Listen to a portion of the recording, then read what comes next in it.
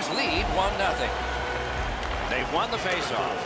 A good stick there, so no complete pass. Big drive. Oh, a save there. Score!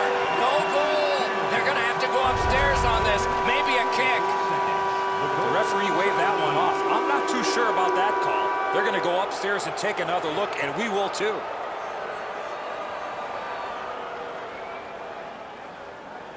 They've got the draw.